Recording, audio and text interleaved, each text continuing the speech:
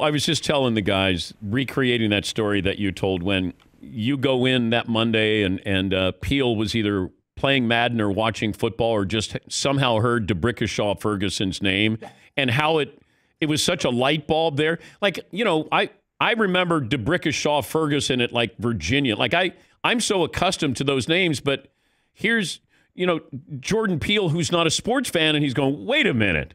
And then yeah. you're a sports fan, so you probably never looked at this and listened to this and went, "Oh, there's nothing. Wait, that's funny."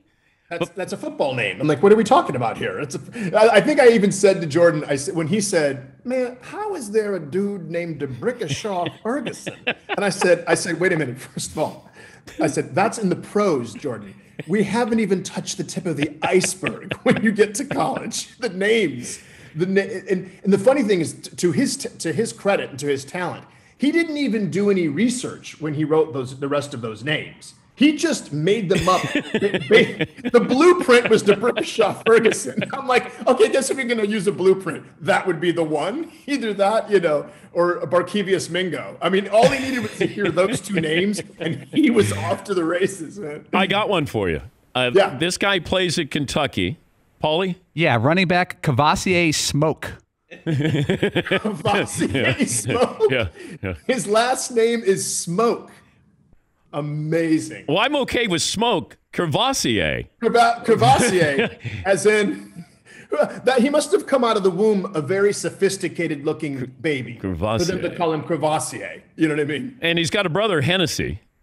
Oh my! Of course. No, he, no, he does. I, I, was joking about that. But oh, I believe you 100. percent When I was a kid, the big thing was um, that there were there in my neighborhood there were two kids named. I'm going to go the exact opposite direction on this. There were two kids named A and B Johnson. They were twins, and their names were A and B. And I'm like, you can't do that to a child.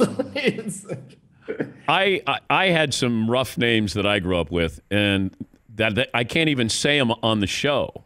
Oh, jeez. it, it's off color, and uh, yes, but you know, you grow up and that's just the person's name. You don't even think twice about it, and then somebody goes, "Wait, you went to school with somebody named that?" Right, right, Ex- exactly, right. And I know you just kind of think to yourself, "Oh, that's just you know, that's uh, that's uh, Giorgio or Giorgio, not not the not the craziest name." I went to school. I went to high school. Now here's another one. I went to high school um, with a gentleman by the name of Ignacio Hawthorne. great name. I thought that was a great name because it sounded like he should have been in an old Dickens novel. Ignacio Hawthorne. but you just call him Iggy, or do you? Iggy, yeah, Iggy. It's which is like one to me one of the best nicknames ever. You know. It's like also a good Detroit nickname because Iggy Pop's from Detroit. Oh, that's right. And the, I have to. Put, I have to put in. I have to talk about at least two to three uh, people who are from Detroit on every interview. And, uh, yeah. Did you get in everybody you needed to get in? I think I got everybody in. Oh, I just have to say Barry Sanders. I just have to say it randomly every time.